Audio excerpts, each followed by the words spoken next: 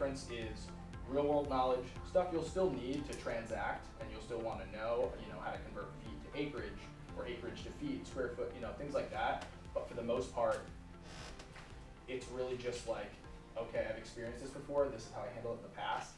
This solution works for this or it doesn't, and you're constantly learning.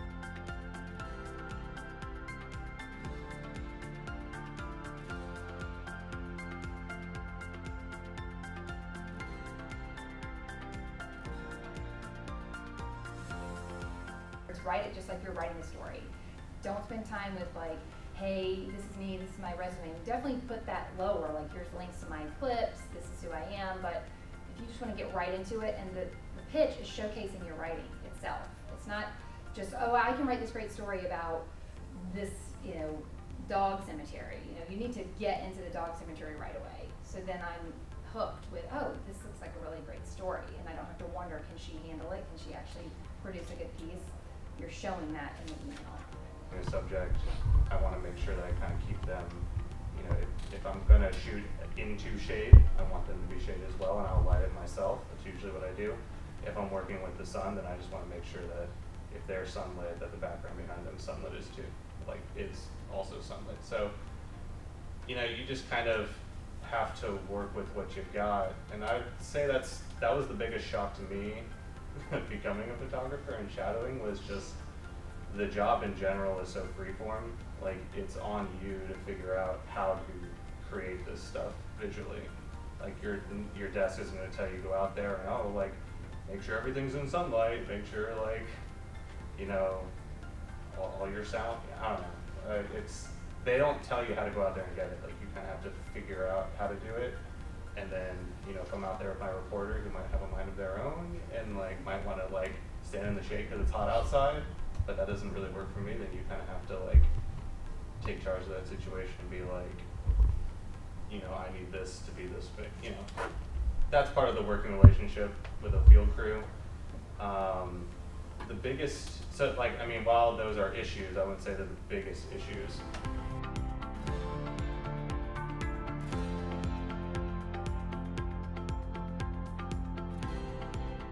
You know, like I said, even if it's just one day that you have to intern, right? Make the most out of that one day, Absolutely. but do it. You know, because there is no I can't. You know what? You don't say that I can't. Yeah, there's a way to do everything. I was a full-time student carrying a five, cur- five, Yeah. five course Mhm. course load, and I was a full-time intern. I sh- probably should not have done a full-time internship, and as an internship supervisor now, five years in, I'm so flexible with my students. I'm like, no, I don't want you to be in here more than you have to. Like my interns, I know they have full-time jobs. I know they have school, and I tell them if you have an exam the next day and you're stressed and you're gonna come to my office to like try and do internship work, and you're gonna be stressed not thinking about my like not putting your all in, I'd rather you stay at home and study for your exam, crush your exam, then come back to me the next day and then work hard with me. So your your professionals that you're working with are so flexible. Tell them, be honest, be transparent with them, and they will understand. But I have no sympathy for people who say they can't do it because I did it. We all like we have you have to do it. If you want to succeed, like you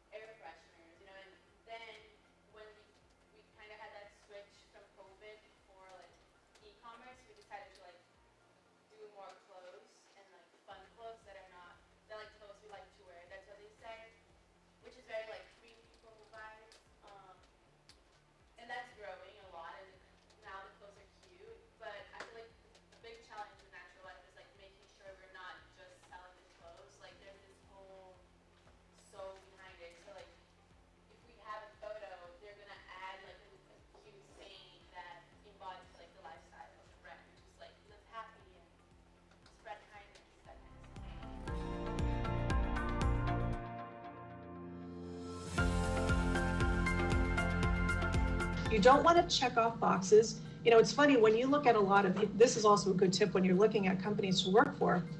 You'll see on the HR page, the whole EEOP thing, equal opportunity employer, and all the legal jargon that has to be there. And then directly under that, they'll say, and we're all about inclusivity and diversity, which is illegal compared to EEOP. So keep those things in mind. Always just focus on what do I want to be doing with my life? What is the type of work that I want to do? Work with a company that does that thing and does it well, and you can contribute and be a player in that. If you are good at what you do, it doesn't matter who you are, you are going to do well and you're going to rise to the top. What I would definitely recommend is just like find a good internship that really fits the skill set that you're looking to do while you're outside of college, and uh, just really hone in and be very persistent and know what you want to do and kind of hone in on what you want to do. And you know, there's a lot of good companies in town that they're looking for hungry younger individuals to you know come in, give them a new sense of you know what's the younger generation wanting.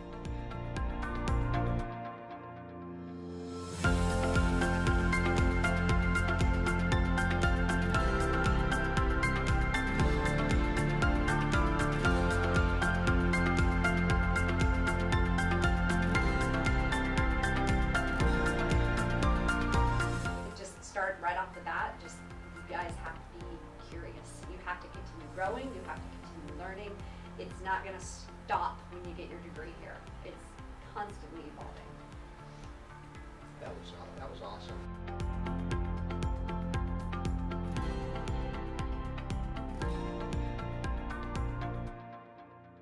while we're not competing necessarily off the field, we all kind of start with the same template, and clubs are just able to um, make it make it what they want. Um, this video here was um, just a little inside scoop for what we do prior to traveling for away games. We, this is an example of when we do get to interact with the players. Um, we'll go into the locker rooms after a practice. Um, this year we've been doing a content series that we have players finish the song lyrics for songs that all relate to the destination that we're going. So this one was all songs about California. I'm sad it's not gonna play. Um, I'm not going to sing, um, but it's a it's a good way to just get to know the personalities of the players too. Not only for us, and, and it builds a level of trust between us and them, um, but us fans too. It's you know, and, and we're fans on the inside as well. While we work there, we're we're also fans. So it's a great way to um, to kind of let you guys know that Josh Allen has a horrible voice, and you probably don't ever want to hear him sing. Um, or so and so really knows all the song lyrics to, to every single song. Um, and then the last one is a meme example. Um, this was when we beat the Chargers. It was a really simple graphic that, that kind of took off for us. Um, if you don't get it, it's a broken Charger after playing the Chargers because we beat them. Um, and it kind of exploded for us. And these are the things where we talk a lot internally of we will spend hours producing a video that gets a thousand likes, and we will spend 30 seconds putting together a photo that looks like this, and it gets hundreds of thousands of engagements. And while it's frustrating, we're still happy that it works. Um, but there's a lot that goes into this too. So while it might take 30 seconds to put together, we have to run it by our PR team. So given the Jaguars' record in the last couple years, we have to be very careful on getting too cocky when we win. Um, because we know that in a week from now, people are going to go back and probably make comments